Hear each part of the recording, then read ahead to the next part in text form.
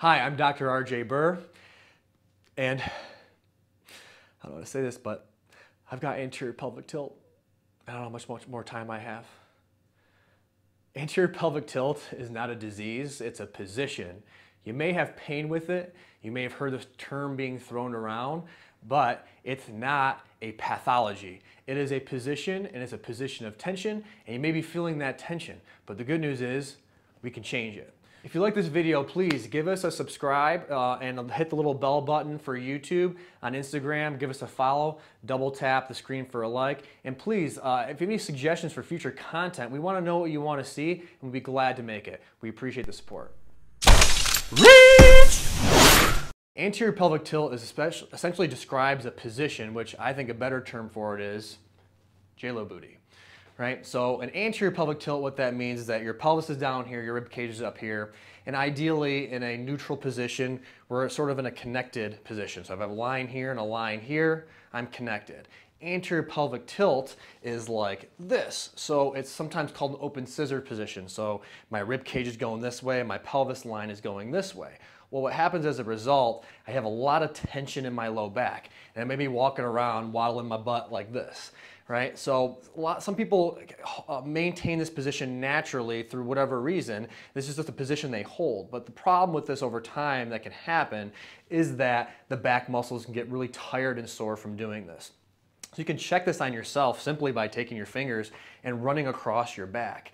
If in your back those muscles feel like steel pipes or steel cables and it feels as you run your fingers over them, you feel a big pipe and then it dips into like a ravine where your spine is and then you go over it again and you have that sort of wave through there and you can feel that tension, you're probably stuck into this position. But it doesn't mean you have anterior pelvic tilt like you're gonna like kick the can in a few months, right? We can change this. So a few things we can do is, well, one, just be mindful. Yes, there's a lot of stretches and exercise and strengthening you could do, but first and foremost, we have to understand what the position is and how to change it.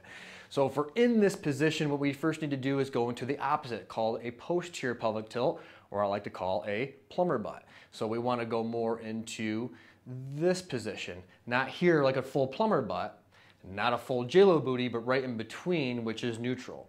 So how can we find that? Well, first we can go into a golf posture, like a, like a leaning posture like this. We can simply cycle through the two. We can go through JLo booty and then go to plumber butt, JLo booty, plumber butt, and then find where your in between is. At that point, that is your neutral. It's gonna be different for everyone. You just find that in between. What you'll notice in that position too is that those back muscles won't be nearly as taut. You know, they'll be on because you're leaning over, but they're not gonna be like steel rods. Now, the idea is that, okay, if we stand up tall and we have this position here, well, how do we change that standing, not in a golf posture? Well, the idea is that that neutral that we had leaning over, this gives us room to move our pelvis right? The hard part is when we're standing up straight, for some people it's hard to tuck their pelvis under because their hips, their back is so tight, they can't get that lifting or that belt buckle toward the nose. They just don't have the mobility for it.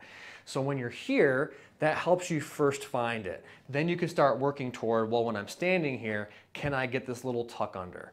Because the, ideally when you're standing up tall and going about your day, you should be able to tuck under a little bit and reduce that tone in your back, those steel rods I was talking about before. However, some people are stuck here standing and doing this is hard. So we're gonna go through what are a couple things you can do or exercises to help you be able to get this awareness of tucking your pelvis or bringing your belt buckle toward the nose, okay?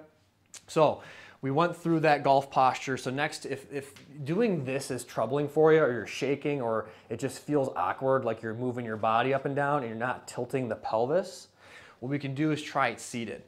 So we'll do here is sit down and then sit in an upright position. And simply what you'll do is, so you can see my waistline here. Can you see it, Mitch? Okay. We're gonna tilt the pelvis forward and back. You know what? Let me just tuck this in all right? So we'll sit in our just general position. Then what we'll do is roll forward onto our sit bones. So that's gonna be the anterior pelvic tilt or JLo booty. So I'm gonna roll forward, arch my back, and I'm on my sit bones. Then I'm gonna roll my pelvis backward or plumber butt onto my tailbone. I'm gonna roll forward and roll back. roll forward, and roll back.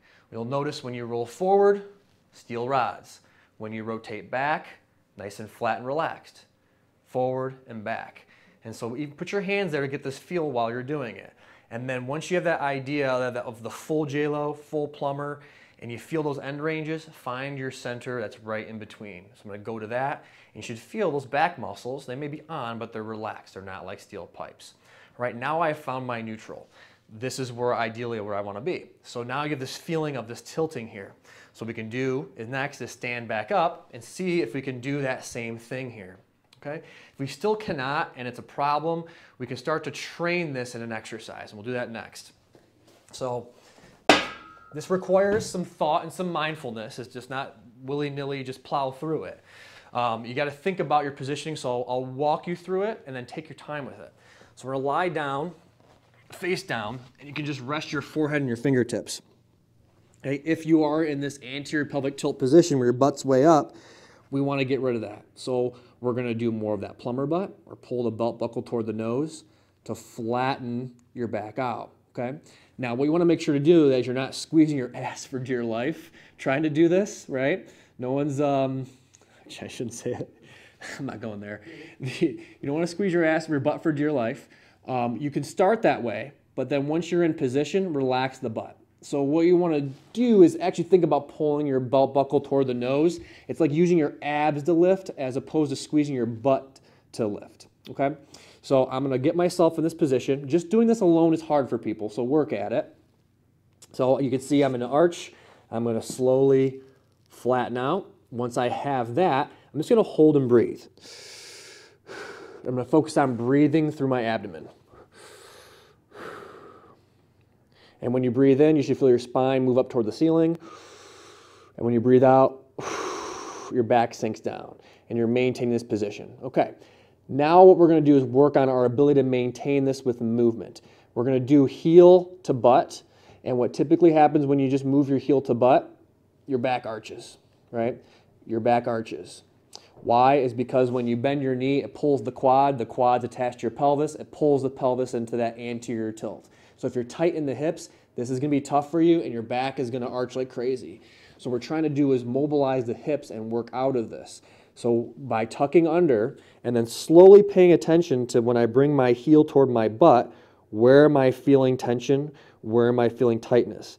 And now as I keep going here, I'm holding my position and now I feel that I'm tight in the quads and my quads are stopping me from going any further. Now I can definitely cheat this, but I don't want to cheat by arching my back.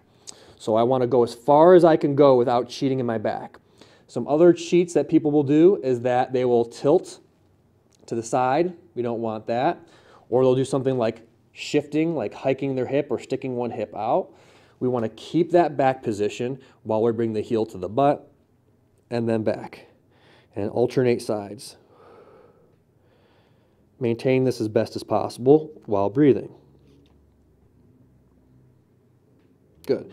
So by doing this, what we're doing is we're building that awareness of keeping that neutral spine position, the rib cage, the pelvis, while moving our legs. And what this will do with some time and practice, it'll give you more awareness then of getting into this position, standing up. Why? Because we were lying down in this position and we are essentially doing this, mobilizing the quads and the hips, which is uh, opening up our ability then to be able to tuck under while standing up. To recap, anterior pelvic tilt is not a disease, it's a position. So don't go around saying like, oh, well, I can't do that because I have anterior pelvic tilt. Well, we can change it. So by using these drill, this drill here, we can first be aware of our position and then work on changing it to directly reduce that tone or that tension you have in your back because of that tilt right? Anterior pelvic tilt is no different than saying I have bent finger problem, right? Bent finger problem, I have tension in my finger because I'm holding it back and it hurts. Just like if you crank it on your back muscles here, it's gonna hurt after a while. But you know what I can do about bent finger disease or bent finger syndrome? I can unbend my finger, it doesn't hurt anymore. I can unbend my back from anterior pelvic tilt into more neutral and I'll reduce some of that tension in my low back.